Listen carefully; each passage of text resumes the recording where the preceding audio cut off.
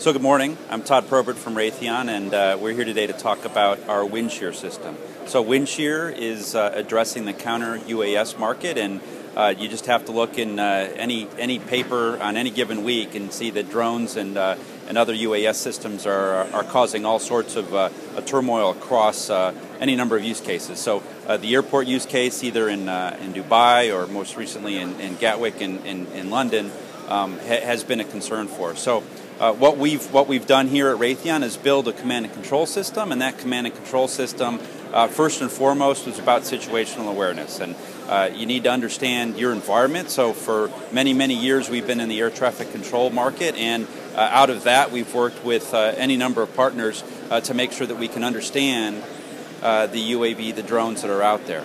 and then with that, we've coupled um, an open architecture to allow us to bring in any number of effectors. So um, uh, we set up fence lines, so you can see here uh, the various fence lines, and uh, when you uh, when you're looking at a UAV threat, um, many many of the threats that we're seeing today are just nuisance threats. Operators that don't necessarily understand what they're doing. So the outer edge of that line will will have bells, whistles, alarms that, uh, that that'll go work through it. But as as a UAV moves through those various fence lines, we have any number of uh, uh, increasingly measured uh, effects uh, to, to, go take care of it. So, in, in one sense, first fence line might be protocols taking over the command control of the, the vehicle itself.